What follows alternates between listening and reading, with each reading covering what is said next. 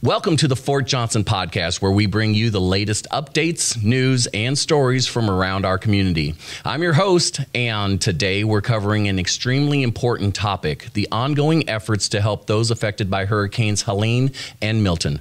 As many of you know, these terrible storms have left many families displaced and communities in urgent need of immediate support. The Red Cross is mobilizing and calling for volunteers in our area to be part of this relief effort. Whether experienced or just a willing pair of hands, there's, there's something for everyone. Stay tuned as we'll be discussing how you can join in and really make a difference for those in need. Let's get started.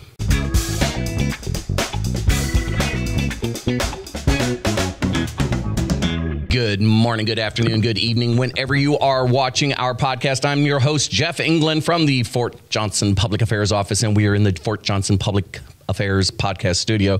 And today with me, we have uh, special guests, uh, two very special guests from Red Cross. We've got Lena Arenas. Uh, she is the volunteer recruiting specialist. And we've got Chandler Morgan. He's our uh, regional program manager. Hello, guys. Thank you for showing up. I appreciate it. Really Well, thank you appreciate so much for having us. I'm That's- glad to be here. Yeah, I'm glad to have you guys here. Uh, we've got we've seen the devastation from uh, in North Carolina and Florida, and uh, even the surrounding uh, states there are. But the main the main points are uh, Asheville and um, the Sewanee uh, Sewanee uh, area. And uh, Florida down there, uh, Clearwater, I believe, and um, just all the way through. I can't believe this. It's it's horrible. Uh, and as everyone knows in Louisiana, we we we've got our fair share, and um, the help that we get from everybody is uh, extremely. We help those that help themselves, and and uh, as Americans, we help. We enjoy well not enjoy but we are there to help and uh, we appreciate all of your effort so um, let's get to it. We, we need volunteers to help with the uh, recovery efforts and the relief efforts. Uh, so what ki- what's going on with this program? Why don't you explain it to me a little bit? Well, um, so as far as um, we're sort of in a matrix of a lot of different organizations that are trying to do a lot of different things. Um, so what we do in particular, what the Red Cross focuses on, is primarily mass care and sheltering after an emergencies. Um, so we usually work um, to staff shelters. Um, a lot of them are for people who are leaving an area who don't have a place to stay. Um, we have about 2,100 volunteers on the ground right now, and we provide or focus on providing people with a, a, a safe place to stay, food to eat, and then access to healthcare resources also. Um, and usually, when uh, we respond, we partner with a bunch of different organizations. So, um, like here, for example, we partner with organizations like the Catholic Charities, Southern Baptist uh, Kitchen is a is another good one, um, and they'll do things like cook meals, which then we can go out and provide to the community. Um, so I think that's something that this particular um, emergency has really brought to light is the power of partnership um, and and sort of like how we fit into the larger operation. There's other organizations like um, I've seen some people mention like Samaritan's Purse that sets up like mobile field hospitals and stuff like that. So trying to work with different organizations to figure out what is everybody bringing to the table and then how we can best leverage all of our resources to to work together. So the um, uh, up in Asheville, most of the roads are inaccessible. Um, how close are you setting up, and uh, what opportunities are you providing up there? So we have a number of shelters that are open in Asheville um, and in um, the communities themselves, and that's really the main focus that we're providing at the moment is with sheltering. Um, so we work with the, the cities and the local governments, um, and they provide us with a list of facilities that they have that basically we can have volunteers go to. Um, and we set up cots and we provide meals uh, basically for people who don't have a roof over their head so they have a safe place to stay. Um, and then we invite in other organizations and resources to go in and, and talk to um, the clients at the shelter about their next steps um, and sort of just go from there if you want to add on anything to that. Yeah, as of right now, we have about 3,900 people within our shelters. So it's a great way to bring comfort to community and to let us know, hey, we are here to hold your hand and we help you get through this disaster. Because a lot of them, um, unfortunately, did not realize they had to evacuate, right? Like the storms with hurricanes, the storms changed completely, like within the second. So we just want to make sure that people know that we're here to take care of the community and to help them through. Now, uh, the volunteers that we're getting from here that are going to go up there, um, are they staying in the same shelters or are they being put up in someplace else? I saw that uh, in Florida, one of the places that was supposed to be meant for uh, the evacuees uh, got torn apart. So, I mean, that I'm sure places are pretty pretty dire right now. Yep, and that is a great example. Um, usually, we have our volunteers will stay in staff shelters. So we have shelters that are just for volunteers to rest and recuperate, um, that are separate from where they will be serving the um, the clients at. Um, and it's um, also uh, in Louisiana, we do um, a very similar similar um, things. I, I don't know if anybody remembers back in Hurricane Ida, but we had in the local area, we had the Rapides Parish Coliseum that we helped with, and we also have the Alexandria State Mega Shelter, um, which we usually work on. Um, so yeah, it's to uh, It's crazy. yeah. Yeah. But there's there's enough room for everybody, right? I mean, we're not crowding out anybody or, or No. So our main priority is also the people who are asking to deploy to disasters is like their main safety, right? Mm-hmm. So, for example, like people who are deploying to Hurricane Helene and, Hur- and Hurricane Milton, like who were there pre-land for, they make we make sure to know saying, hey, by the way, there's gonna be some hardships once you get to the ground. You're gonna see people who are about to suffer from a disaster or suffering from the from the previous hurricane. Um, you may not have power. You may there's gonna be conditions, so people already know what the expectation is going to be once they get to the ground, but we make sure that they're going to be comfortable whether there's in a staff shelter or whether in a hotel, and the most important thing is that they're going to be safe. yeah, the it's just it's horrible. Um, it's worse. I can't even imagine it. Entire homes and families have been destroyed, and um and we're down here just offering to come up and help in any way. I believe is every little bit helps. Uh, I've gone through these emergencies before. Um, the National Guard with Louisiana um, serves during uh, emergencies in our state and others in other areas, and so I've seen both sides of how this can affect somebody. And um, yes, the volunteers really do make a difference. And I just can't find enough words for uh, the word for those that are giving of themselves to to come and help. Um, now, for the people that we're going to be helping or the volunteers that go, um, what exactly are your main mission uh, points to do when we get up there and, and to start helping out? So the most important thing is we make sure before people deploy they have training. Um, so we provide a full um, sheltering boot camp training to people before they deploy, um, and that covers everything like how to set up a shelter, um, everything from the distance that you're supposed to put between the cots to where do you put the registration center at. Um, we give training like uh, food safety handling training if they're going to be serving food. Um, so that's our main priority is making sure that the people who are deployed are going to be prepared.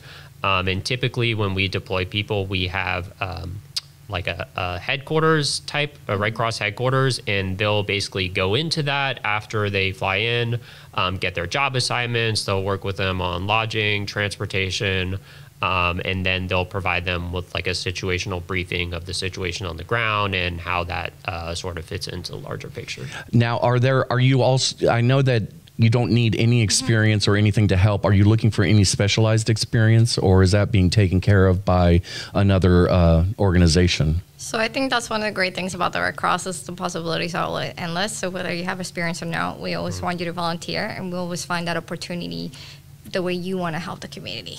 right now, yes, our biggest concerns is, mass care and sheltering because there were people affected by the storm. But if somebody says, hey, um, I want to do a different side of, I want to be able to help an assessor, but I want to have a different role. We always try to find what makes people comfortable as well because we are asking them to deploy for two weeks, be away from the family. So we want to make sure that they're going to be happy and comfortable doing that.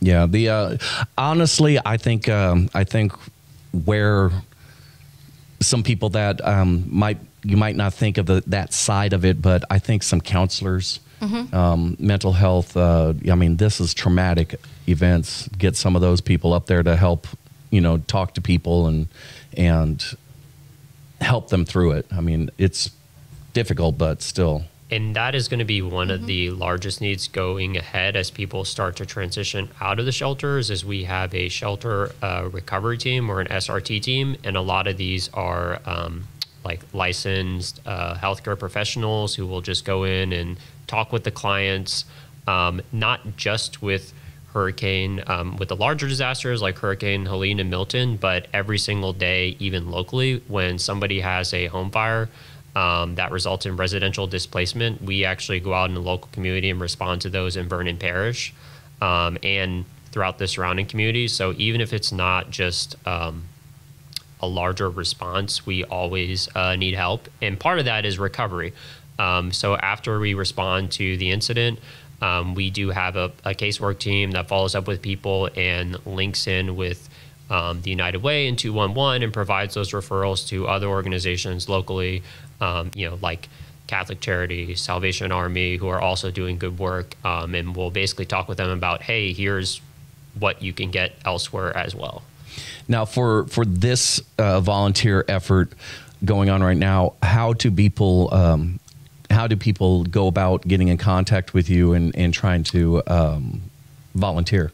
So people can go into redcross.org slash Louisiana, and then they'll be able to log in and create their volunteer connection account. Once they get into the system, they just got to let um, whoever's doing their um, interview, they're saying, hey, I want to be a disaster responder, and they'll put them in contact with the right person so that we could get them started with it. Whereas whether it was their shelter training or if they want to help, if they're a counselor, if they want to help with the disaster mental health side, we make sure to check the licenses, make sure they're ready to go for that deployment. And that was also something uh, we were at the Installation Services Fair recently and talking to people who are interested in volunteering there. Um, and that's something that I heard was people were like, hey, you know, I would love to help out, but I'm not really available right now.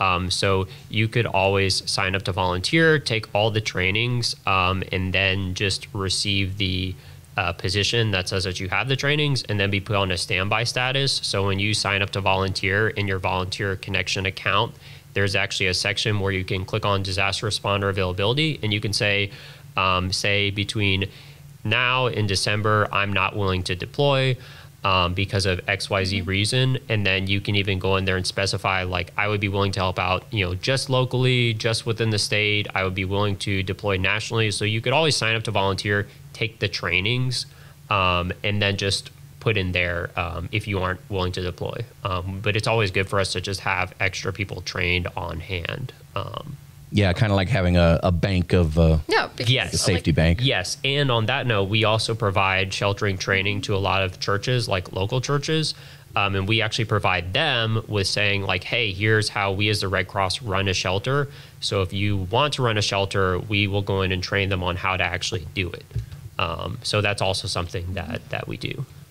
So the um, so there's going to be where are where are the uh, people in uh, North Carolina? Are they uh, have they been moved out of the area completely or evacuated? I mean, some people are they still stranded?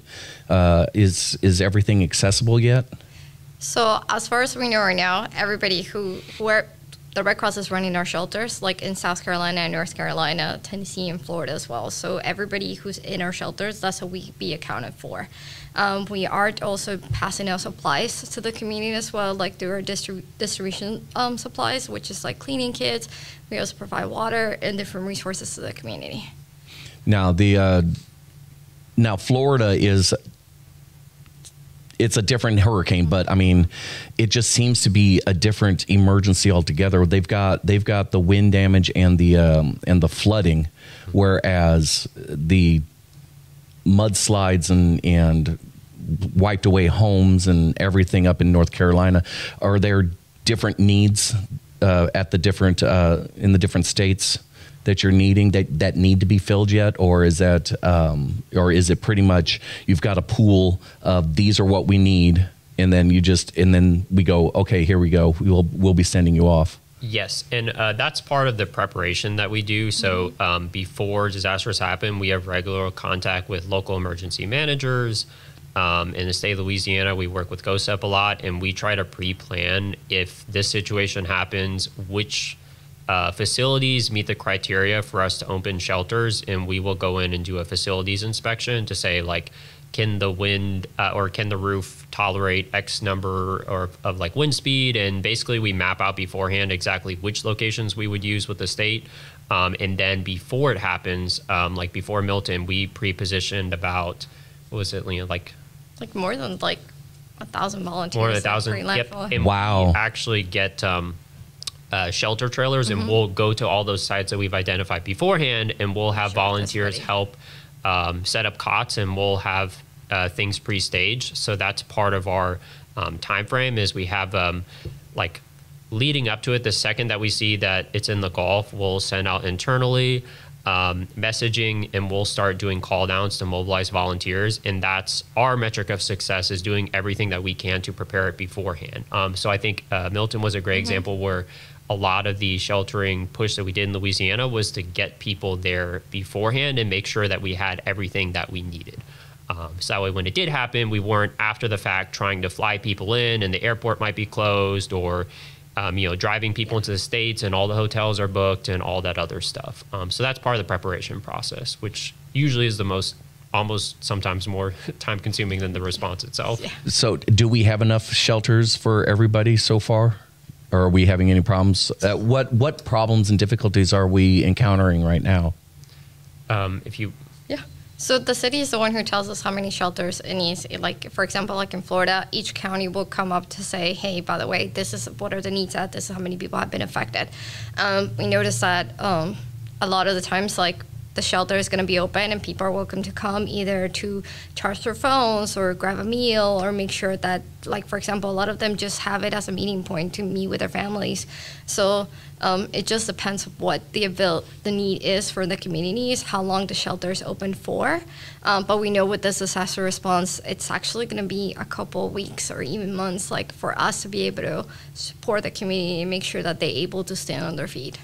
Yeah, the uh, um, and everything right now. Well, other than the uh, intermediate um, dangers that are just out there after the fact, but we're not expecting more to happen while we're volunteering or are, i mean somebody's watching the weather and uh, making sure that what happens if something else comes up uh, there's i'm sure you guys have contingencies for everything right Yep, and we do. I think we saw it with um, Laura and Delta. Also, is usually they'll loop that into the DR and the existing structure. Um, but that is um, one thing. Is it's nice when we have everything set up and everything's running because then if we do need to expand it, we already have people on the ground. We already have. Um, we follow like a pretty similar structure to ICS, like an military. incident command structure. Like we'll have a um, a director who's like a job director over it, and then we'll have different sections like a, a mass care lead who's in who's um, over all the volunteers that could be in shelters. We'll have like a feeding lead who's talking with all of our partners, like you know um, Southern Baptist and everybody else, and trying to figure out how we can work together to get the food to where we need to. Um, so that's all part of the planning, and and yeah, usually we would just loop that into the Mm. uh, structure. a lot of times, like for example, it happened with Hurricane Francine that Helene was coming right, and we didn't know where the storm was going to hit. So we were doing this disaster response here in Louisiana and down in Baton Rouge for Hurricane Francine.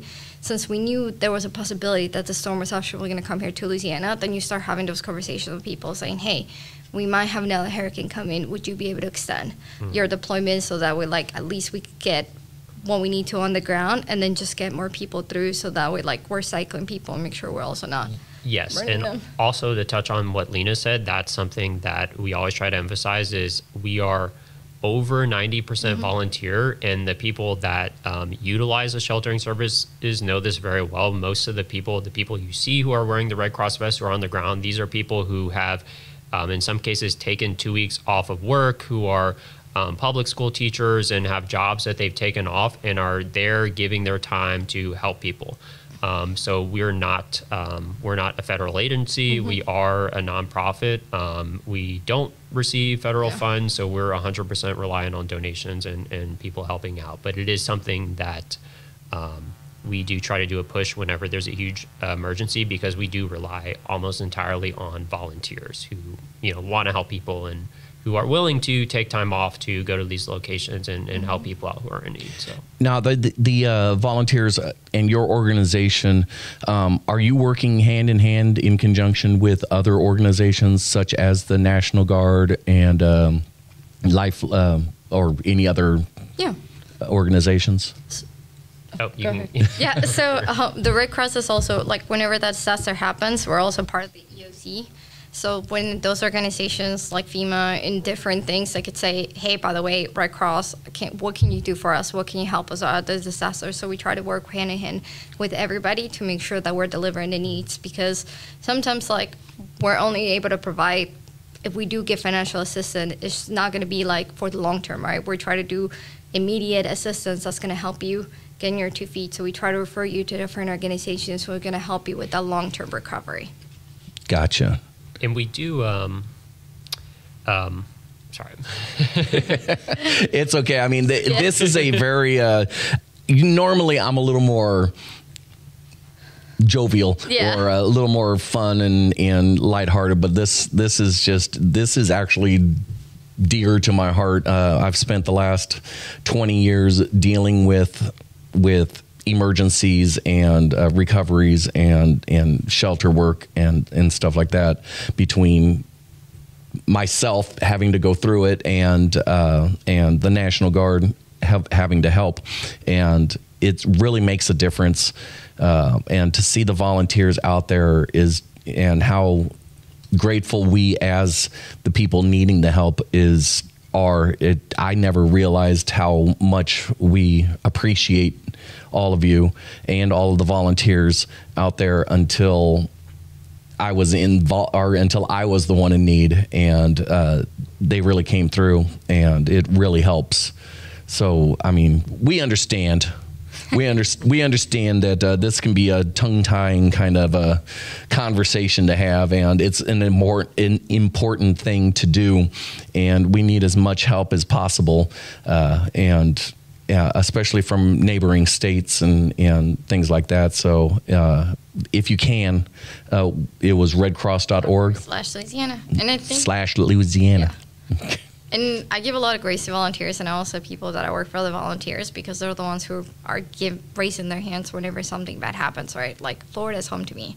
So seeing that a lot of people are able to raise their hands and say help people from my community, that's very impressive because it's coming out of the goodness of your heart to say, hey, I want to be able to hold somebody's hand in a shelter and say it's going to be okay. I want to be able to walk around communities and say, hey, these people are going to need the financial assistance. How can we help them? How can we move them forward?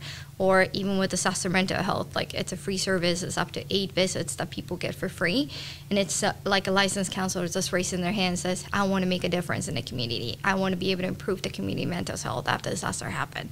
And same thing with the spiritual care, like people are able to come to our cause and say, "Hey."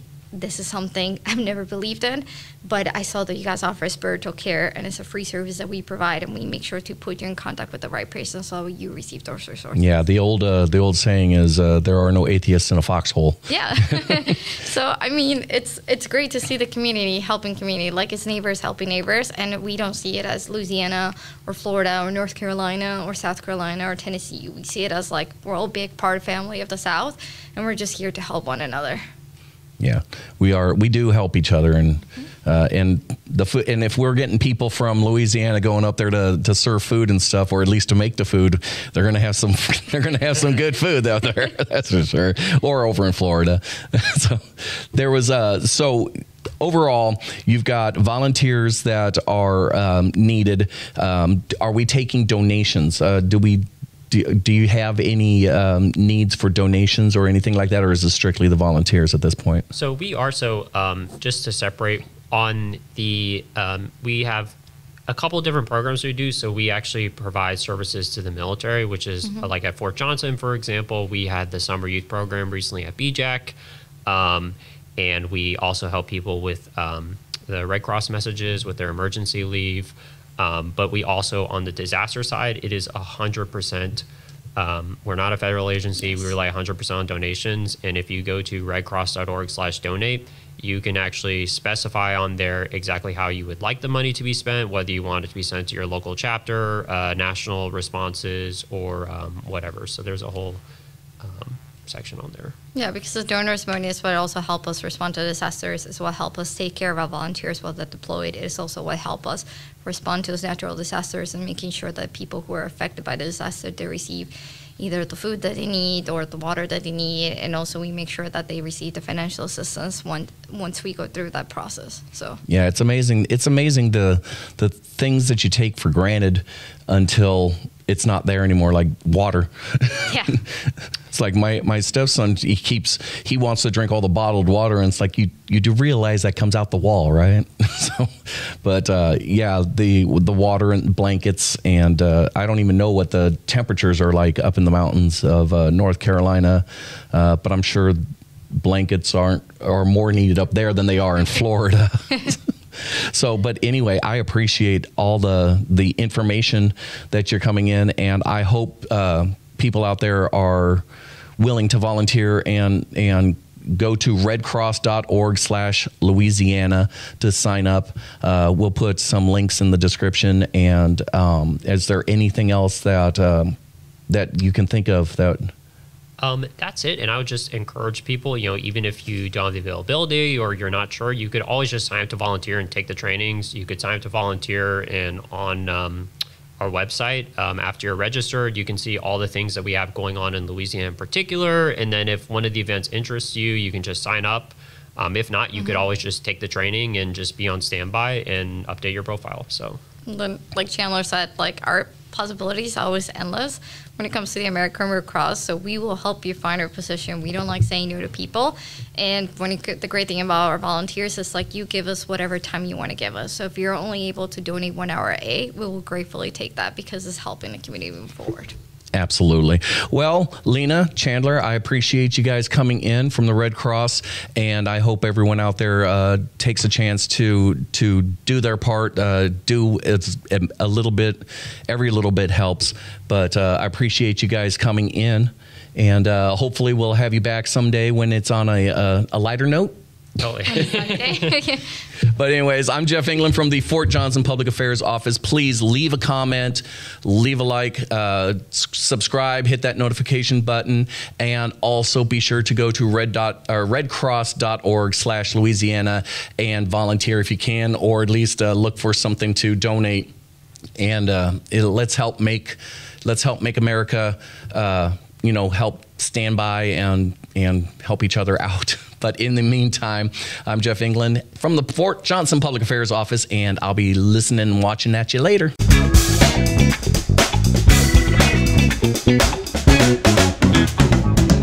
That was easy.